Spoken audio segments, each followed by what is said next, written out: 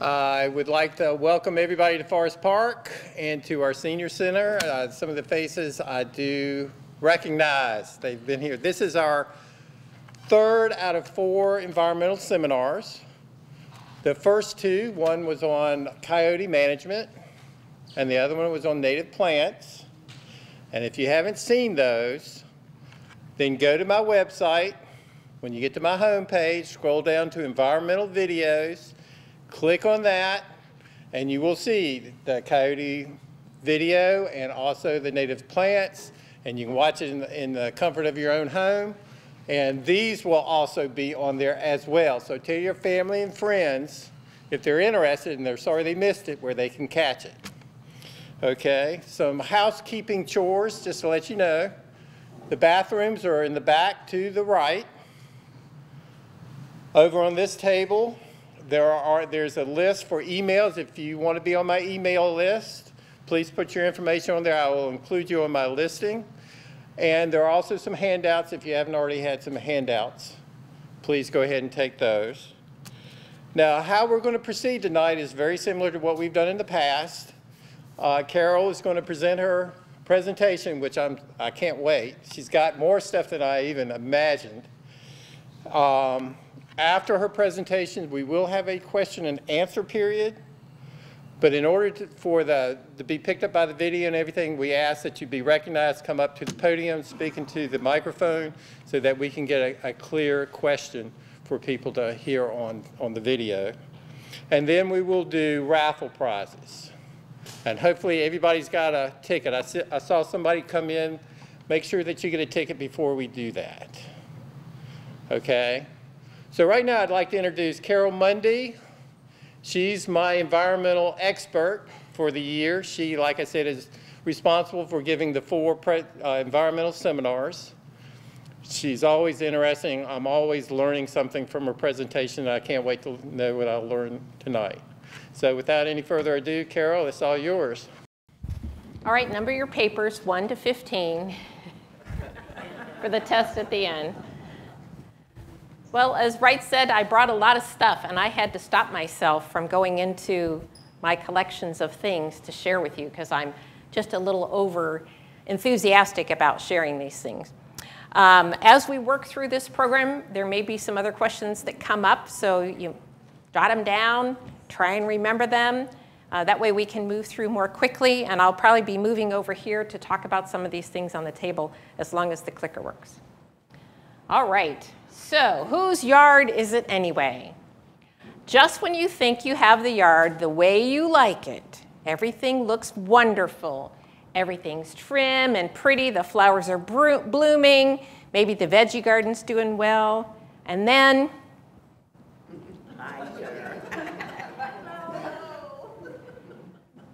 And all they can say when you roll up on them and you put the window down in your car, what are you looking at? Have you noticed that? I have two that come into my backyard. I'm in the C section. And we can get maybe from here to the gentleman in the blue shirt before they decide, all right, maybe I should leave. Not, man, that's bold. Thank you for the buffet. I now have a complete fenced in veggie garden that has an eight foot cage around it. Complete ceiling, just to keep those fellows and the squirrels and raccoons out. It doesn't keep everything out, but it does pretty good. All right, so when you're thinking about what your yard is like and you have to do a little bit of homework, and if you were at the native plants class, maybe you learned a little bit. I promise I won't test you on that tonight. But once you've learned about native plants or what's in your area, I want you to think about what is native in the, in the way of wildlife to your backyard. Do we have alligators in Ohio? Not naturally. exactly. With enough coin in your pocket and some internet site, you know, you can have a bobcat in your one bedroom apartment or an alligator in your bathtub until your spouse or your mom says, you got to get rid of that thing. And then they go off to some wet place and let it go. And that used to happen all the time. I worked for Hamilton County Parks for almost 30 years. And the number of things that were dumped and let go at parks yeah, and a caiman, we did have a caiman, which is a smaller type of a uh, alligator type animal that was out at Miami Whitewater. So, never say never, but the goal is not to have those around here. And then, of course, do more homework. I do want to let you know there are punks in nature. Sometimes they do things just to be punks. Think about the squirrel that's ripping out your pansies in the spring. I may plant the pansies in the pot next to the door three or four times a day. They're not eating them, they're just digging them out. Whether it's an oil that's on my hand, the smell of those new plants, something in that potting mix that makes them go nuts. It makes me go nuts because there's the dirt again. Well, things like vultures have some of this crazy behavior. This is down in the uh, Everglades, right there by one of the main um, Royal Palm Visitor Center. And when you pulled up to the visitor center, if you parked too close to the visitor center, you noticed that there was a, a van or a car and it had a big drape over it. And I was trying to think about, okay, you know, what's going on? They're trying to keep it cool from the Florida sun. No, that was the person, the naturalist working at the visitor center, protecting her vehicle because as soon as she'd walk away, the vultures would come down and start ripping out the rubber weather stripping. They weren't eating it, they weren't giving it to their mate, they were just being punks. So, yes, we still have punks in nature. For the fun of it, I said. And then there's you know, people who go out and look for trouble. I, one of my goals was to see a live uh, armadillo on a trip to Florida because you used to see them squashed by the side of the road. In case you haven't been following uh, nature adapting, armadillos are moving northward. They are a, being spot in Tennessee and even in a spot in Kentucky. So someday in the next 20 or 30 years, we could have armadillo in Ohio. And you thought you hated moles. So let's consider what your habitat is like or what's near your yard. Is it wet? Is it wooded? Is it meadow or prairie? Is it your prized bog garden? Maybe you have the roses that have been passed down through your family from your grandmother who brought them over from Europe at some point. Is it that secret garden of treasured plants? And of course, whatever your favorite plant is, that's where the deer's gonna go. That's where the chipmunk's gonna dig a hole. I, I mean, you might as well pretend you hate everything out there, and then they'll leave it alone. Do you have any wet or watery places? This is a small pond in my backyard. I had one lotus one year that bloomed. but I have frogs, I have toads, I have salamanders, I have turtles. Next to me is a person that has an in-ground pool. They get more turtles and salamanders in the filter of their pool that I get in my naturey backyard. So my nature will text me, meet me at the fence, I've got another one. So if you have those things, you know, if you build it, they will come. It is true. Why they would want to go into the pool as opposed to a nice wet spot on the other side of the fence, who knows? But just think about that. They may be there and you don't know about it. Other wet creatures. Many years ago, uh, when I was a naturalist, you would take turns answering the phone. People, before email, they would pick up the phone and say, hey, do we have lobsters in Ohio? And of course, you wouldn't laugh because you're not supposed to do that. But you'd say, well, yes, we do have an animal that looks a lot like a lobster. We have crawdads, crawfish, crayfish, whatever you want to call them. I back up to Army Corps property. It gets very wet, and sometimes I have these towers in my backyard. So you have that crazy mud structure that can be this tall or this tall. And it will be open at the top because as that water table is rising below, they're going to add more uh, mud to that and it's their chance to decide if they want to move to a different habitat or a different spot or just let some more air percolate through that. My advice to you is don't stick your finger in the hole. You may have seen a cat or a dog who sticks their paw down in there. And if you happen to get this guy out, they're not going to be very happy. But they will be in these watery spots. Any of these little rivulets that run when it gets wet, you could have them up on the sides, and then when it's uh, too much water, they end up someplace else, back down by the Winton Lake. If you are thinking about what your garden's going to be like, I would encourage you, don't forget about adding water and shade. It's really important to do that if you want to have some wildlife. I mean, there's no way to say, okay, you can come in, but you can. It doesn't work that way. But if you have some good shade, even if it's the old concrete water basin like your grandmother used, you might be rewarded by a big fat toad. A few years ago, I had, um, this is before we changed the type of light we have right outside the house to reduce the amount of light pollution, we put a, a yellow light. One year I had a big fat female toad who went up six of the steps to my porch and would wait each night. Think about the effort that that took for that toad to climb up those steps. But that meant she had that space all to herself. There was no competition. It was right underneath that white light, and she was getting all the yummy bugs. So this is a good guy. If you have toads in your yard, that is a good barometer. That means you have good soil moisture, you have some good shade going on, some yummy bugs that aren't affected by ins, uh, insecticides. And when you use insecticides, that's some of the collateral damage we think about. We're trying to kill the bad bugs, but that's what you need toads for, to eat those bad bugs. An engineer who's all wet. All right, so if you're finding um, trees that are cut down like this, that really sharp piece, there's lots of wood hanging around. Of course, you might think, what is going on here? Well, we now have beaver all over the state of Ohio. We have them on every lake, and then sometimes they will end up riding um, from one lake to another through one of these creeks or the waterways that are here. And they can be quite damaging to the point where in the state of Ohio, if a beaver builds a dam and it floods a commercial area, that person can now petition for that animal to be trapped and euthanized. There's that many beavers that they will not relocate them. Commercial properties don't like it when their area gets flooded. I mean, they're excellent engineers. They will pond up area. I don't care how many times you clear out that culvert, they will pond it up again. And it benefits all of these other wildlife, but not humans so much. Um, just to give you an idea of size, that's the size of a beaver's skull. So next to my hand, you can see that's pretty big. Then here's the pelt. It's not unusual for these guys to be upwards of 60 plus pounds now.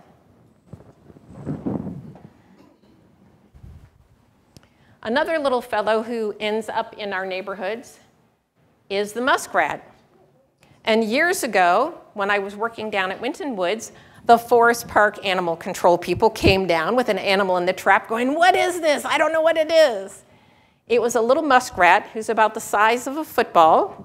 Remember re reference? We had a program where we used the size of a football. And if you know what a beaver's tail looks like, it's flat.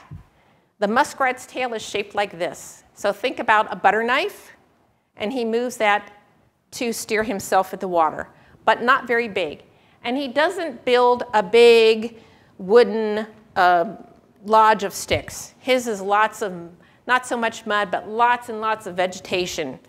And you might find that on the edge of lakes, or if you go back by the retention basin, you might find them. Occasionally, they end up in areas where they shouldn't be, like my front porch. Many years ago, I was coming home. I was carrying in the groceries. My dog stopped at something on the porch. I said, leave it. Amazingly, he did. Went in the house, came back out and looked. Here's a muskrat. Well, now I'm looking for the little note that says, I found this muskrat, it needs your help, or something. I was that lady in the neighborhood. So I go in and I get my gardening gloves, and my husband says, That thing's gonna bite you. So I go back in and I get my raptor gloves, which are ladies' welding gloves, and I go and pick him up. Sure enough, he bites the glove pees all over the place, jumps down, takes off across the porch. I never see him again. Now I live about three doors from one of the creeks that runs through Forest Park. So I started knocking on my neighbor's doors. Did you did this? Did you do? No, nobody did. I asked my coworkers. Nobody would admit to putting that muskrat up there. But it had to go up six steps to sit on the porch they will ride those little wet areas. Think about the ditches that we have around Forest Park that lead into the larger creeks that may end up in Winton Lake or into the Mill Creek. Those become the waterways for them to move on to different territory. And if you think about this last spring, maybe you had ducks in your shrubbery. Once in a while, I'll get a call from somebody that will say, there's a nest outside my door and there's 14 eggs in it and it wasn't there yesterday. calm down a minute and think about this. A duck can lay one egg a day. She, it's not like puppies where they all come out at one time. So one egg a day. She lays the egg and she goes away, and she lays the next egg and she goes away. And around the 14th day or so, then she readjusts things and she sets and she incubates for four weeks. And in four weeks, all of those little guys hatch out within about an hour of one another, no matter if they were laid in the egg at day one or day 14. Isn't that amazing? They all hatch at the same time. Once they're fully dry, she gives the signal to follow, gets them away from that nest. She used your house or your shrubbery or your business as a safe zone. They're less likely to be bothered by predators such as cats, dogs, coyotes, fox, raccoon, if they're up next to the house. So now we have this kind of interrelationship going on. She calls to the babies. In this case, it could be a problem if you're up on the second floor and your nest is in a, a window box. In this case, it was inside the Winton Center's courtyard many, many years ago. So we would open the doors and line the hall, and it was make way for ducklings all the way down to the pond. She might have, I mean, I'm doing quick math there, there might be 18 or 20 ducklings that go. And every spring, you're going to see that news where some, something on the news where a person stopped traffic or the firemen came and they got the little ducklings out from underneath that uh, rain um, opening to the sewer, the rainwater. Those grates are pretty wide and you're talking about a duckling that's you know, not much bigger than a playing card. The problem is she can't count. So she starts to go and she hears them peeping. But if she can't get to them, at a certain point, she's got to basically cut bait. She leaves that little guy. I know it's really sad. She will leave that little guy to save the other 17 that she's caring for and move on. But if they're rescued out and it's peeping loudly, it will run, she'll call to it and it will run right back to her. If you have a nest outside your house, do not put down water and do not put down food.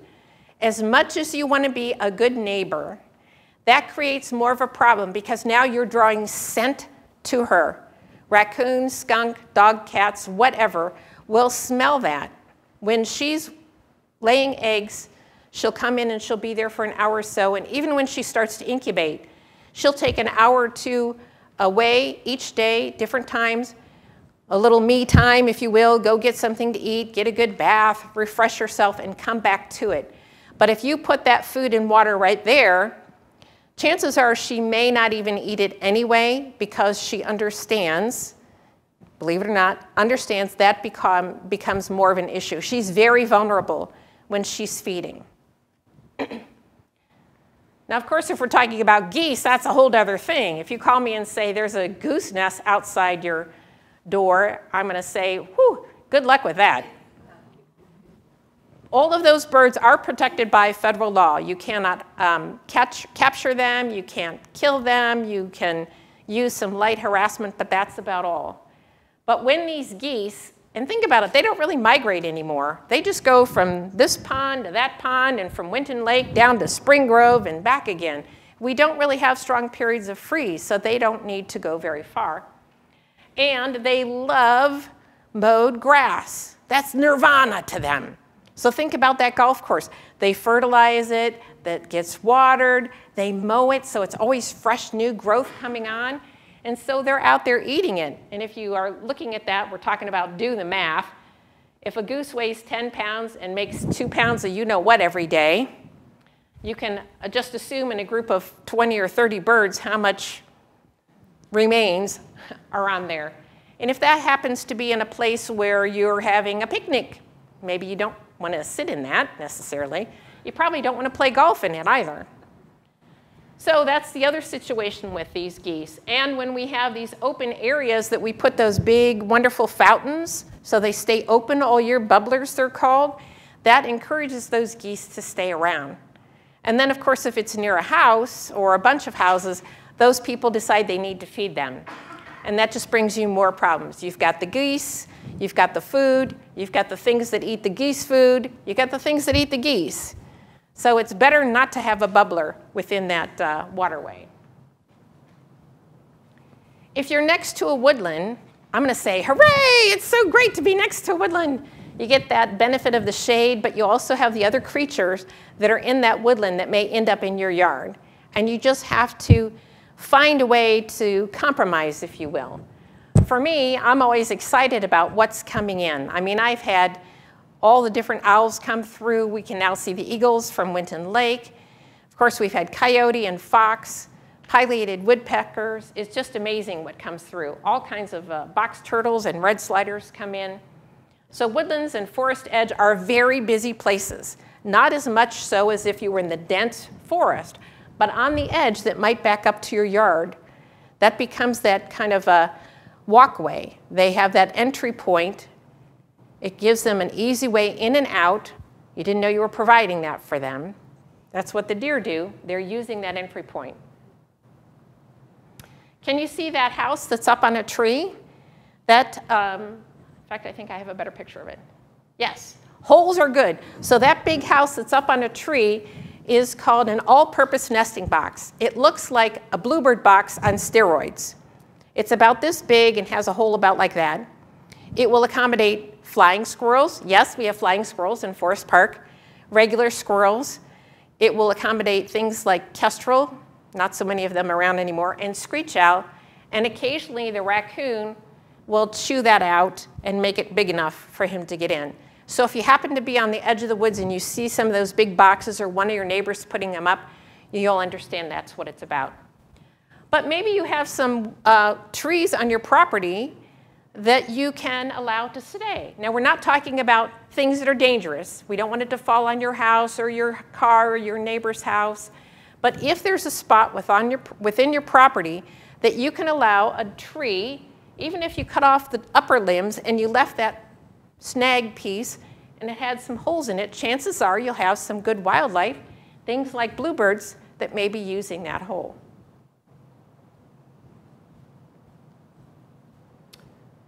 I have a love-hate relationship with squirrels and chipmunks. Um, around here, we have eastern chipmunk, and of course, they're extremely busy checking every little thing, digging holes everywhere. They can make a hole about the size of a 50 cent piece. If it's smaller than that, it's likely something like a shrew. We do have the gray squirrel, but he can wear different colored coats. We have the gray squirrel, we have a black squirrel, and I don't know about you, but in the C section, we have some white squirrels. They're not albino, they have brown eyes and brown toes. They're not pink eyes and pink toes, so not completely um, missing that melanin. But they are so bold when they come in, I mean, sometimes they won't even bother if a blue jay comes after them. They just turn their back. And I'm sure you've seen all the crazy videos, the ninja squirrel videos where they have them going up and over to get to the food. It's remarkable how they can figure that out. Oh, I'm going to hang it off of the clothesline. And the next thing you know, you've got, you know, the squirrel Wallenda gang walking tightrope out to the piece that's hanging down. I mean, you, we've got pictures of them hanging on a um, a feeder for hummingbirds, and they tip it a little bit, and we'll get some of that fluid out. What you may not have been familiar with is the fox squirrel. So in the wooded sections around Forest Park, you may find what looks like an oversized, it's a squirrel who looks like he's wearing his uh, grandpa's coat because he's much bigger. They're much more reclusive compared to the gray squirrel. And you might just get little views of them around and they're not nearly as gregarious. I mean, if, if the gray squirrel comes in and fox squirrel's there, the fox squirrel will leave. Gray squirrel really has a, I mean, he's kind of like a Pomeranian who thinks he's the size of a Great Dane. Never give caffeine and sugar to squirrels. They don't need it. They're already squirreling. Rabbits, it seems to go in spurts, doesn't it? Some years you have lots and lots of rabbits, other years not so many. This year we've had both big guys and little guys around. And what you need to know is that female rabbit may make a nest less than six feet from your back door, right under your dog's nose. It's amazing how they can do that. They don't have to have a very big or very deep scrape. They pull out some of the fur from their body she lays her babies in there. She covers them back up with fur and little bits of dried grass. and she leaves them. That's the hardest part for humans is she steps away. You wouldn't think about going away for a few hours from your baby, your newborn. I hope not anyway. But she steps away. She feeds them in the morning and at night. And the rest of the time, she's feeding off in your clover. Another reason not to cut your grass quite so short so they can have something to eat. And in just three weeks, that little cottontail is ready to be out on its own. Three weeks. Their ears will be perfectly upright, their eyes are bright, and the telltale sign is if you have to chase it, it doesn't need your help. I've gotten calls where somebody said, they're out of breath. I got this bunny. I chased it across Winton Road. It probably didn't need your help. And, and they will die of fright. I work with wildlife rehabilitators. I had been one in, in another life. And I will tell you that rabbits have this high fear factor. They are prey, they, they fuel the world. They fuel the world of wildlife. Everything wants to eat a rabbit. And so when they are contained, when they are restrained, their heartbeat goes so fast they can actually succumb to that. They don't do well in captivity. But she may go on to have many litters. Depending on the season, she might have four litters in a year or more. If you have rabbits, you probably have these. Um, we do have quite a good red fox population in uh, Forest Park with all the little waterways and covered uh, creeks, nice woods. So here's a red fox, and you can come and take a look at him. A red fox tops out at about 15 pounds. People often think they're much larger, but it's that tail. That tail is as long as the body. And you can see Mama's kind of tired of being a mama. Uh, this, was, this was actually in the neighborhood up by um, Lake Erie, Lakeside, which has a lot of cottages that people don't stay year round. And my husband was up there doing some other photography, and he found this den underneath the house. Nobody was living at the home at that time of the year. And the pups would come out and, you know, sit on the chairs and play on the stoop. And it was at a spot where the two roads came together. There aren't sidewalks in that community. And if you walked on the roadway, no problem. The pups were fine, mama didn't bother. If you cut across the grass, which youngsters often, human youngsters often did, she'd make one little noise, and they would all dive up underneath the house. But she always looked exhausted. I think she had seven kits. And of course, we do have coyote here in Hamilton County and in Forest Park. We talked about that uh, population a few years ago. And amazingly, in some places, coyote has enough to eat that it doesn't have to bother with taking out things like raccoon and fox. In some communities, coyote strives to be the top dog, so it's going to go for all the other predators, and that includes things like fox and raccoon. It may be cats and dogs because they look like competition. Not necessarily to eat them as food, although they won't waste it, but it's really because they want to be the top of the heap. But what I have found is I'm next to that Army Corps property. I have both red fox going through there and I have coyote. And there, there are plenty of rabbits around, so I don't know what else they're eating, but they're, they're very well fed.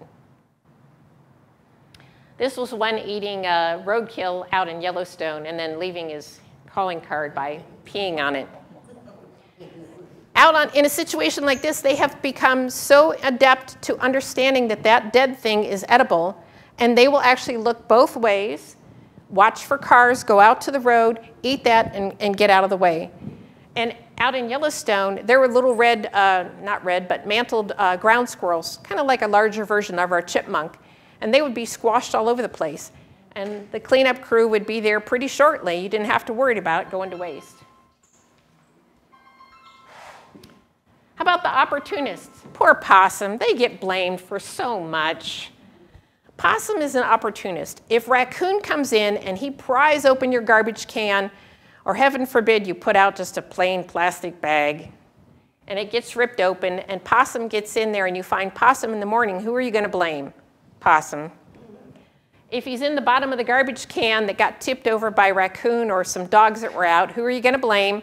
Possum, because he was in there. Possum wants to find food that's easy. That includes things like insects, um, things that are on your compost pile. It could be worms, crawdads, leftover fruit, dog food, cat food, the garbage can if it's tipped over. That's too much trouble for him to tip it over. But raccoons know how to disassemble about every kind of garbage can that's out there. If you go to any campground across the state of Ohio, there's usually warnings about how to secure your cooler so that that $10 worth of bacon isn't gone when you wake up in the morning.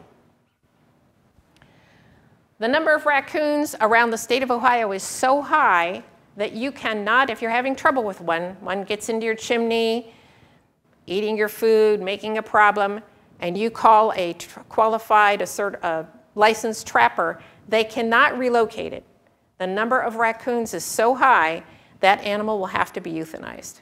And that's part of the other thing about being a homeowner, a property owner, is that if you're having trouble with raccoon, possum, whatever it might be, skunks, to understand what the laws of Ohio are. Now, if you have a raccoon in your chimney and you got it out and you let it go on your own property, not a problem. But if you catch it out of the chimney and think, oh, I'm going to take it down to the park, I'm going to take it out in the country. I grew up way out in Colerain Township when it was nothing out there. You could see the Milky Way, it was so wonderful. And people used to dump things all the time.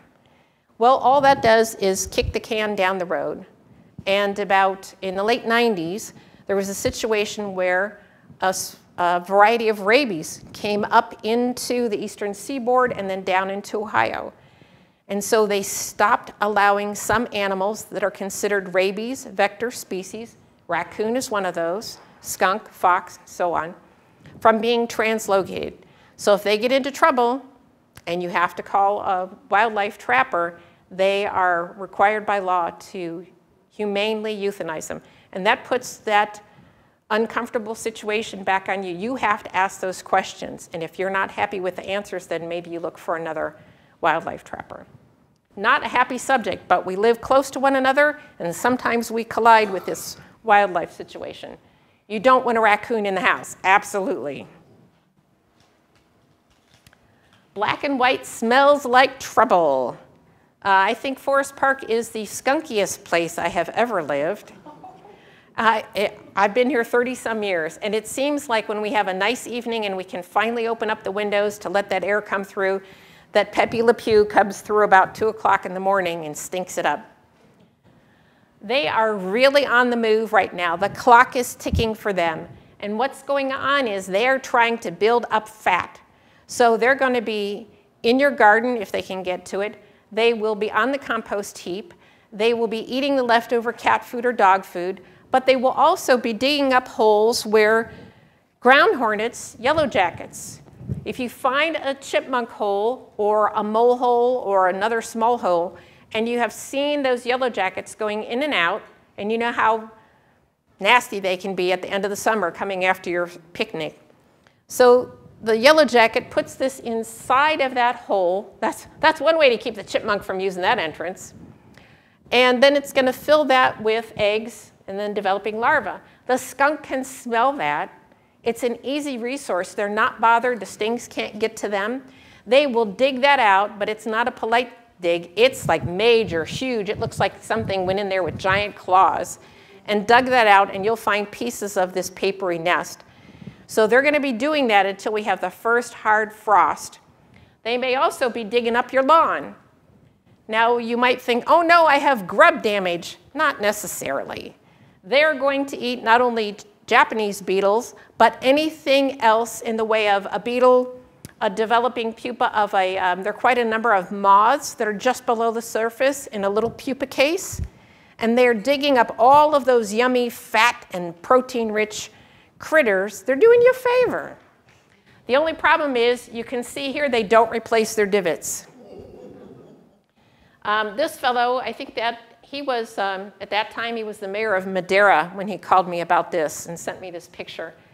But I had that happen in our yard. We were going to be taking up grass, and we kind of agreed on a space in the backyard, and I happened to be away for a couple days, and I came back to a very similar looking area in the backyard, and I was thinking, Man, he dug up the wrong spot. It wasn't Mr. Mundy, it was skunks. But they can do, that's probably a 10 by 20 area in one night. And my advice to you is if you happen to find that, after you get those curse words out of your system, is to just go and replace the divots, get your kids, your grandkids, the neighborhood kids, to replace those divots, water them in, walk them down. It may happen a time or two, but as soon as we get that good hard frost, it will all settle down. So they're eating those insects. They're actually doing you a favor. It just doesn't look like that. The other thing about skunks is they're trying to tell you to leave them alone. What's the color? Black and white. Black and white. Stay back.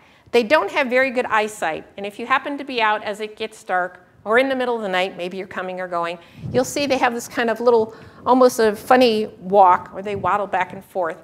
And they'll stop and they'll try and size you up. If you stay real still, they're like, eh, they'll keep on going. But if you walk to them, first I, I would ask you why you would be walking towards them. Right, first thing he's gonna chatter. He's gonna make this sound, which is a skunk grumbling, which is, I can't believe this guy's coming towards me. The next thing he's gonna do is stomp his feet, as if that's gonna be scary to you. And if you move to the next point, which is turning around, it's too late.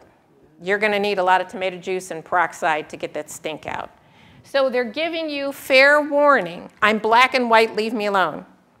And most of nature has warning colors, red and black. Um, in fact, I have some fine prizes that are big, uh,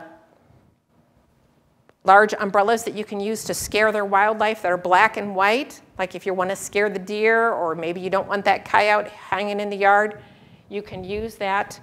Here, we'll use this one. Uh, this is an excellent tool. This one is green and white. Not all wildlife are going to see the green, but they will see that it's dark and then white. So black and white is always a warning color. The next thing is you may have that fox, coyote, raccoon, whatever it is, know that you come out to check the bird feeder or check on your plants. They've got you down. They, you know, it's 8 o'clock. Here she comes. She'll go back inside. I'll have the yard to myself. If you want to scare them away, you could walk out with a big umbrella and they're going to be they're going to stop and look and hopefully nobody is too superstitious but when you push the button you've got that first you got that nice pop do that again and now from being five foot tall now i'm five foot wide and i have all these warning colors so this is an excellent tool to keep by the back door in case of rain take it for a walk you know, you come across, works for all kinds of things. You come across a coyote, you're not really sure, you could do that. Make a deep voice. Ladies, as we tend to get afraid what happens to our voices, it goes really high. so you have to make yourself big and mean sounding. But if you have those warning colors, and somebody will go home with one of those large umbrellas that's black and white, so you can be like the skunk and maybe they'll leave you alone. stay. it looked like it was going to pop open. Oh, one more um, side note. Do you see the skunk with that little container on his face? That's a, a yogurt cup. And um, the company that makes that shape, it's Yoplait, was actually petitioned to change the shape of that cup, which they said no. But now most yogurt cups and small cups like that come with a little notation to please squash it, cut it, or whatever so wildlife doesn't get stuck. And I see stories like that all the time where an animal has gotten their head in a peanut butter jar or a yogurt cup, and it may be for, for days before they get help. It used to be that woodchucks, groundhogs, whistle pigs, whatever you want to call them, all the same thing, were more of a rural problem. We didn't think about them being in the city of Forest Park or even the city of Cincinnati. But guess what? They're here. They've adapted very well. And again, they know when you go out to fill the bird feeder, and as soon as you go back in, they're going to your prized garden as soon as you're not looking. So that's one of those situations where you could use your um, big umbrella. You could also use some of that fine, stinky spray. Maybe, right, we'll grab one of those. This is a commercial grade spray and we have a couple bottles that we'll be raffling off tonight. There's also a recipe of uh, a spray you can make yourself to spray on your plants. The reason uh, this one is higher, high test, I would say, its first ingredient is putrefied egg solids. So probably not something you want brewing in your kitchen. In fact, I would not store it in the house, I'd store it outside. But you can spray that on your plants. I always recommend that you spray a lower leaf to see how it's going to react. It's going to smell very strong when you first put it out there. It will fade a little bit to us. We don't have very good sense of smell. But wildlife will pick that up. Now you might have to reapply it if we have strong rain like we had today. But that stuff works pretty good, especially if you're, you're waiting on that prize bloom. We had some lilies we were waiting on.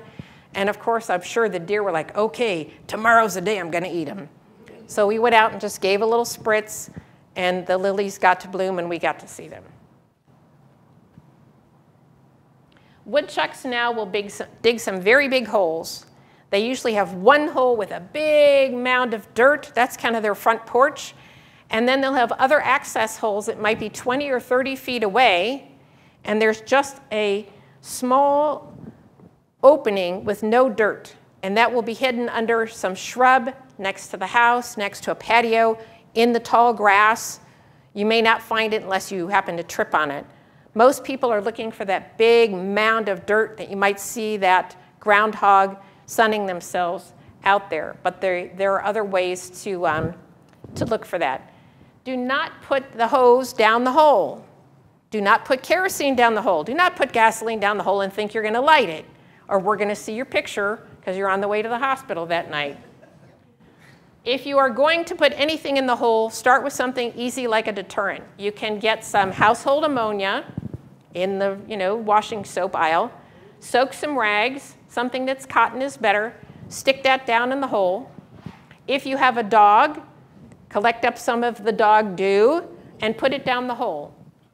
My my kind of battle cry was foul the hole. So if you go and get something really stinky and foul the hole, whether it's a skunk, a groundhog, whatever, they do not want to live in a dirty spot. And when you put something from another animal especially, that's a real assault to them because somebody else is moving into their hole. It's not just ammonia. The other thing that works pretty well um, in, this, in, in this bottle is pelleted pine. It's used for, um, they put it in stalls for horses to catch the urine when they pee. Um, we happen to use it instead of cat litter. But I will take this, scoop some out like this. It's dry. I can put it in the hole, water it in, or allow it to get rained on. You could add a little ammonia or a little bit of a, like a peppermint oil to that. And this will puff up. I mean, it will puff out. It, and then it's just, it's just wood. You can cover that back over. And I encourage you to wait until that's not moving anymore. You don't see any activity at that hole. Because if you see a hole and you just go fill it back up, groundhog is going to push it all back out. I don't care if you use rocks and timber and all this kind of stuff, they will move it out. So if you decide that they're done, you're not seeing any new activity because you put some of this in the hole or some stinky ammonia or whatever, Now's the time you can start backfilling and about the last 10 inches, you're gonna use either sand, like you'd put in a child's sandbox, or pea gravel, a tiny, tiny pea gravel or gravel screenings. And the reason for those two things, or three things, is that when the animal digs, it falls back on their self. It's not like big round rocks. You think, oh, I'll fill this with rocks. Those are easy to move. If you're a digging animal, no problem. But if you're digging through sand, it keeps falling back in on itself. So the last 10 inches, sand, pea gravel, or that um, screenings, limestone screenings. That ammonia works pretty good to try and get rid of those things. Why are we so in love with our lawns? That really is a problem. He's trying to do you a favor. He's aerating the soil, he's eating worms, he's eating grubs. He's really not trying to be a bad neighbor. But of course, when you come out and you find a hole or you find a big mound, you're pretty upset about that. My advice to you is if you find a mound like that, get the shovel out, get a bucket, and scoop that away. As far as putting something down the hole, keep in mind all they eat is alive. So it has to be a wiggling worm, a pupa case that's moving, uh, a grub. They don't eat dead things. They don't eat poison peanuts. They don't eat chewing gum and get it stuck in their belly. So all those wives' tales that are out there are misnomers. You can still buy things for, they call them gophers. We do not have any gophers in Ohio. You have to go to Missouri and onwards to have gophers. Moles, you can go to a lethal trap. So it's a device that has a harpoon, but that's going to take a little bit of skill. And so you either need to do your homework to learn how to use them properly, or you might hire somebody who does that. And they can show you how to set them, and then you can be on your way to catching moles. Uh, if you've never seen a mole alive, this is what they, this one's not alive, but he's in beautiful shape. They have fur that is so soft, it's not like the fur on your dog or your cat or the hair on your head. Do you ever part your hair in the wrong way and it kind of hurts in that spot? The mole's fur means they can go forward or backwards in the hole. It's self-cleaning. And their body is shaped a lot like um, a walrus or an Olympic swimmer. You see a swimmer that has giant shoulders, and then they're very narrow waisted, and that's how they are. Their uh, front feet is just the same bone structure as your hand, but it's all um, in one piece, as opposed to us having all these different digits going on there. So it's like a, a catcher's mitt.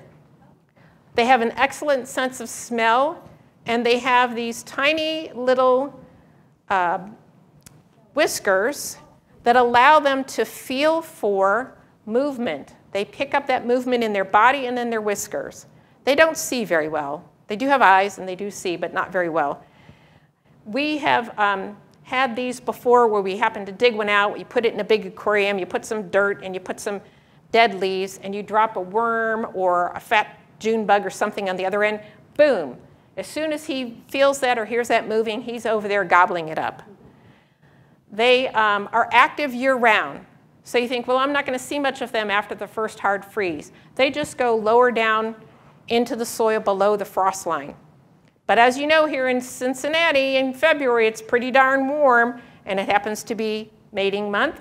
So Mr. Mole is coming up, and he's going around looking for all the ladies, having a little, you know, supper, maybe a little romantic music, making more moles. So they'll be really active at different times of the year. They're not as active right now, uh, just because we've had a big dry spell. They are insect eaters only. You might say, oh, well, they're disturbing my plants. You're right, they are, but they're pushing that plant by them digging. They're not eating it, they're dislodging the plant's roots from the soil.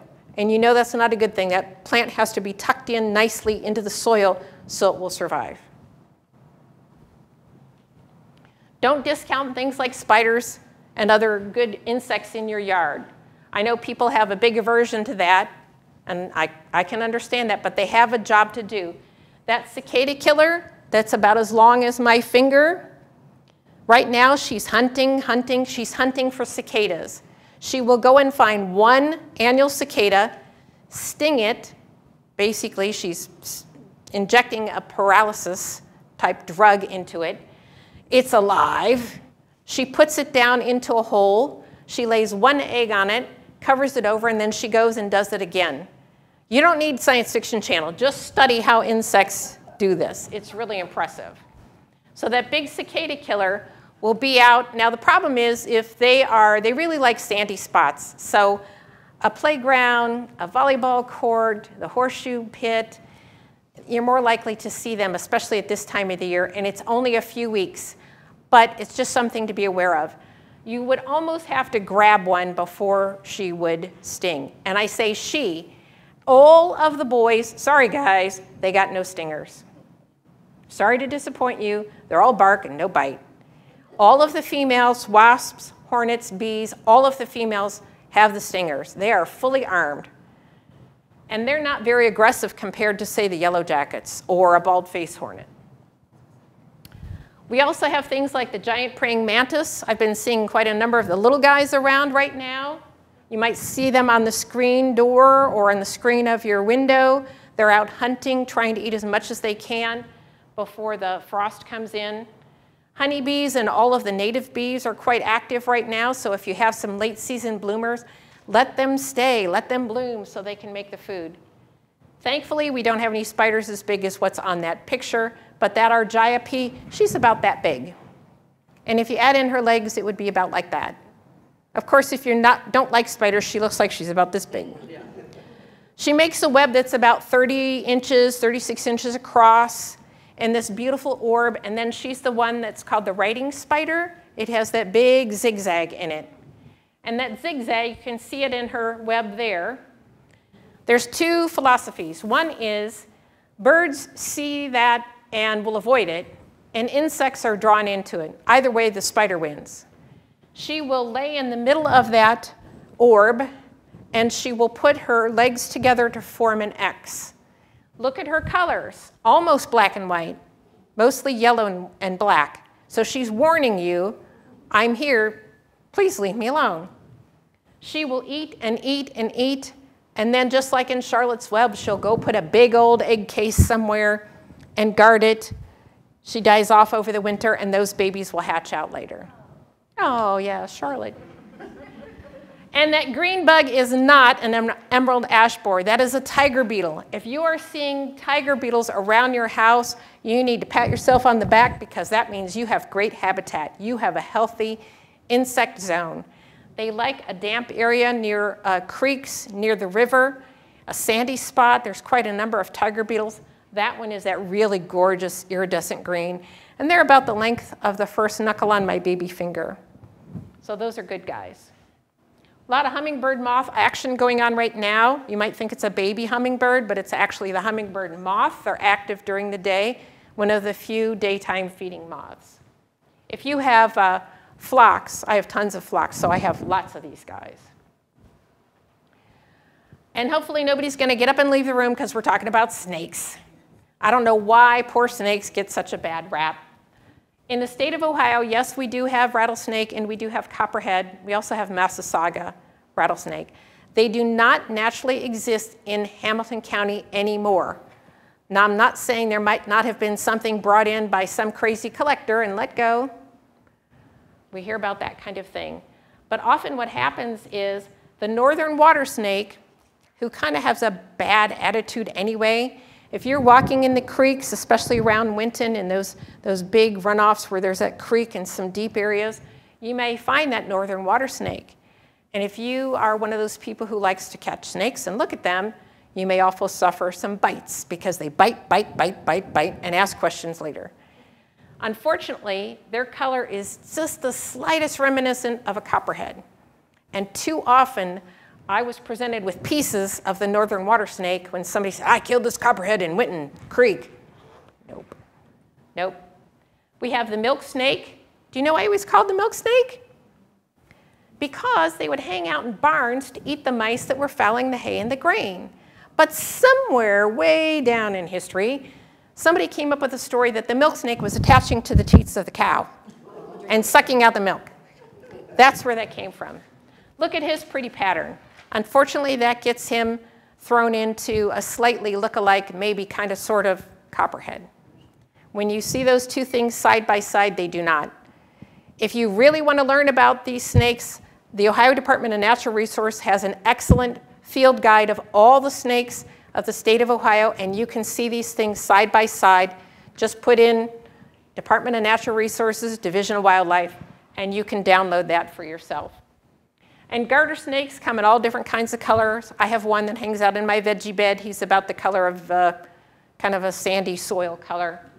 And then what we used to call was black rat snake. Now they call it the eastern gray or eastern rat snake. They are excellent climbers. So going up the side of a, a brick building, especially if there's a little bit of an uh, ledge, an old stone house, um, if you have wood siding, they can climb trees. Um, and they will go up and eat birds, which everybody has to eat. Uh, they're really excellent climbers. As we move into the fall, you may end up, I'm just telling you, you may end up with a baby in the basement. They're about the size of a pencil, not any bigger than my finger, but about the length of a pencil. And somehow they find their way underneath the rubber stopper on your garage door or through that opening, you know, that maybe the laundry uh, dryer came through, and you might find them there under your uh, slop sink in the, in the laundry room. Or in my case, my cat's staring at it, wondering what it is. So I don't want you to freak out too much. Just try and stay calm. You could put a box over it. You could put a big cup over it. Scoop it up just like it was a giant bug and take it outside. Try and keep your heart rate from going too high. Snap a picture, send it to me, whatever. Just try and stay calm. I know that's hard to do if you're afraid of snakes. You know, wildlife will always find ways to adapt to us. Like I said, the duck will be next to the property, next to your home, because she feels safe about that. Here's a robin on my neighbor's house. And unfortunately, the first year, she put it where the western sun was beating down. The next year, she put it on my side, which was now in the shade. So they learned. Wildlife are quite at ease in your backyard. I mean, really at ease. You know, this is an X-rated. CJ has seen this picture before. Yes, these are two eastern box turtles, and they are connected because as I approached, she closed her shell, so he was stuck. Shame on me for taking a picture. But you can see where they were digging in the yard and the amount of time it takes her, for, with her feet are so tiny, to dig a deep hole to lay out 25 or 50 eggs, cover it back over, and go away and wait 60 to 90 days. She's not even waiting. She's on to the next chapter of her life. And then the babies that are about the size of a quarter come out at the end of summer into early fall, and you might find them on their way or in your pool. So hopefully you get a good, good spot for them. Unfortunately, we still have issues with our urban tigers. If you have an outdoor cat, you may have them going after birds or chipmunks or whatever in the yard. And that's a very hard conversation for you to have with your neighbors. Um, this was my neighbor's cat, not my cat. He thought he lived in my yard. That was his pond. He also was in love with my dog to the point where I could say, hey, Charlie, Tiger's here, and the two would play like kids. But this cat would go after birds. When he was young, he caught a toad and brought it up to me. And the toad puts out kind of a really yucky taste because they don't want to get eaten. And that cat was foaming. It looked like shaving foam coming out of his mouth. I got the toad. He was unharmed. I took him away. I took the cat back to the neighbors. A couple hours, couple hours later, he was there doing the same thing. So that's just one of those hard conversations. And really, what kind of neighbors are we anyway? You know, we, we complain about wildlife, but then if we have places where we're dumping and trashing things, where are they supposed to go? Or cutting for a new highway or a new building project? We have this attitude, you know, kind of them against us. And so I'm going to ask you to kind of turn that on your turn it on its ear and think about this. And there's a handout to help you remember. I think it's over there, right? So here's six steps. And often you're in that panic mode when you see there's a problem. Determine the problem. Here's an example. Possum walks across my yard in the middle of the day. Is it a problem? No, but you may not know that. This could be a mama possum who couldn't get enough food to feed her babies overnight and she has to hunt during the day. It could also be she's sick. We put those labels on animals and are kind of upset when you know you think it's nocturnal and they don't stay around. Identify the damage. Possum walking across the yard, not a damage. Assess the seriousness. All right, she might have pooped in your yard. No big deal. Consider the action. And this is really important because you need to consider that action. Let's say we put the word skunk in that sentence. And your action is, I'm just going to get a trap and trap it. Okay, you caught the skunk. Now what are you going to do with it? Are you going to put it in your car and drive it someplace else? Are you going to kill it? I will tell you the last muscle on a skunk's body that relaxes before they completely expire is the one with the stink. And, you know, then you're going to have to burn your clothes and sell your house. Evaluate the proposed action. I caught a skunk in a trap. What happens now? Maybe I shouldn't have done that. Seek help. There's lots of ways to seek help. You can call a naturalist. You've got my card, you can call me. You can call a wildlife trapper. They'll often give you good advice, not necessarily making a charge to you, but give you advice about how to deter that animal from being a problem. Just remember they're like us. They need shelter, water, food, safe place to raise young. Learn, appreciate, and respect. And that's, I mean, I know that seems very simple. We teach that to our kids.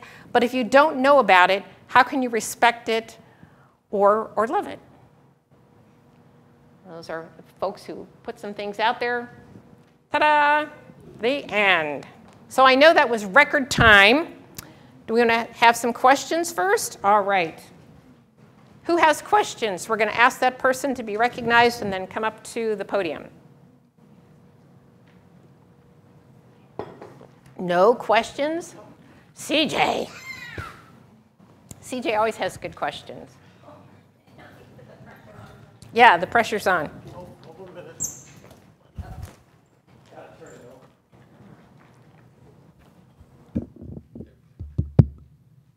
Thank you. Okay. So, um, my question is Is trapping the only way to de- kind of get rid of moles? Our only issue really is that we both have balance issues. My mother and myself. I have Meniere's. I step on a molehill, I could go down. Right. Uh, so that's the only thing is I, you know, I don't want to kill them, but it'd be great if they would just go to the neighbors. Right. The chances of that are happening are pretty slim. And, and there are people who try and sell you something you spray in the yard, you know, to kill the grubs. That's not going to stop the mold because they eat other things. Right. And the grubs that they're eating are only active at one time of the year. Okay, So the other things would be to think about, okay, yes, maybe you could learn how to use those traps. You could try putting some deterrent down in the holes because they have many tunnels. If we could put on our uh, x-ray vision and look at these tunnels, some of them are maintained for generations. Some of them are, are like a clay pipe. So you could try that.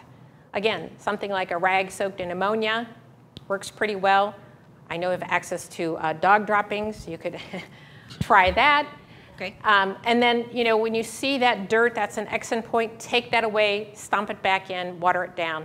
There isn't, there isn't an easy do this and it absolutely will work. Right. I think before I was born, we had tried flooding. Like we called someone and they just flooded the yard. I know, but if you do that clue house, Come right back, right? right? And you know, if you're doing that next to your house, I always feel like you put that water in, it's going to find the one crack in your foundation you didn't know you have. Right. Right. And don't use anything like kerosene or gasoline or, you know, just go with something simple like ammonia or other animal products, animal byproducts. Byproducts. Thank you so much. Right. All right. Anybody else? All right.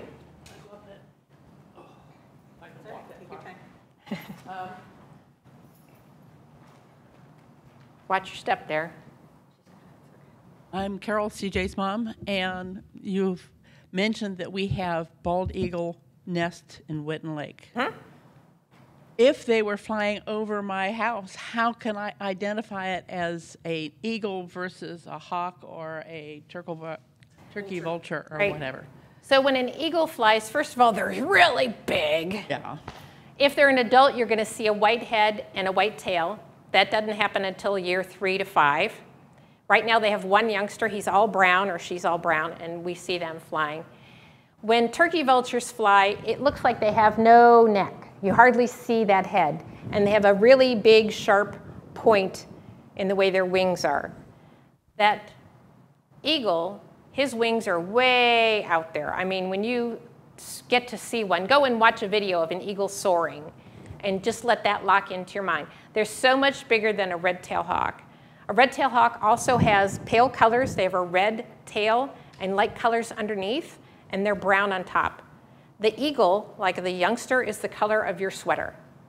And so are the male, uh, so are the adults, and then they have a white and, and uh, tail and head. But usually it's just a silhouette, so you can't It's really, just a silhouette. you can't Right. see the color. You can't see the color, but I would say go, just go look at a video. Cornell Lab um, up in Ithaca has the, the best videos.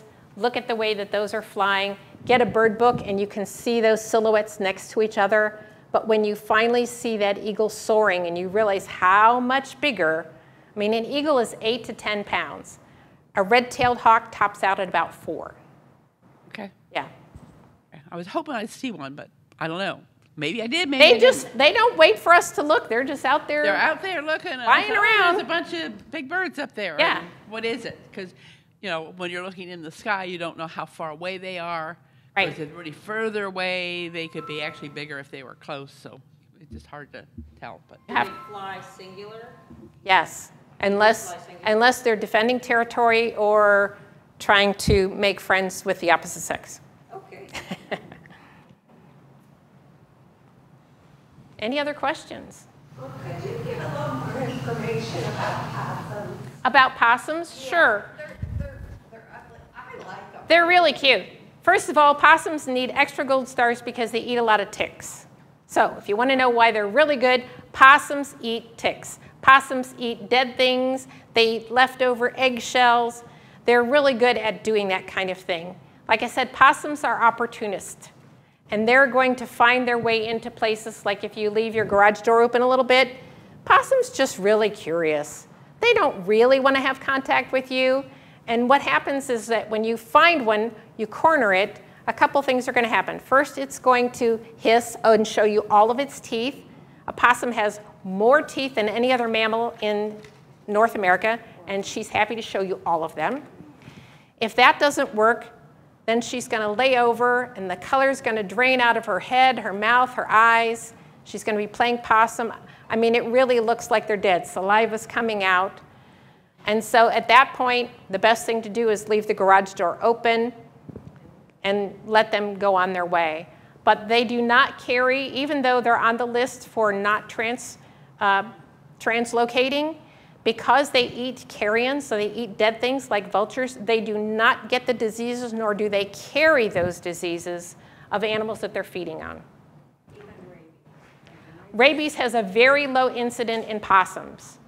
In, in the state of Ohio, the big three, and there's not that many cases anymore, um, the state of Ohio drops bait out of helicopters and planes in the northeast counties, up in Mahoning and so on.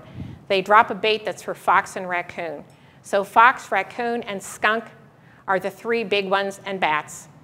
Um, if you want to look at the list, there's a running list every year on the Ohio Department of Health that will show what animals have come in to be tested. Now, understand that when an animal is being tested for rabies, that animal has been killed. The only way to test is to take fresh brain tissue. It's not, you can't just take a sample, right? So all of that information is available, and um, possums, I don't think possums have ever been on the list. Yeah, they're really neat, interesting creatures. The babies make a kissing sound when they're calling. They're, they're really adorable. Yeah, dreamers. Keep the wildlife away. Before we call it an evening, I would like to remind you that this will be on my website probably within the next two weeks. And the other three that we've already done are already on my website if you want to review the, the video. Thanks to Waycross Community Media. They, they've been excellent on this. And we have one more. It's in November.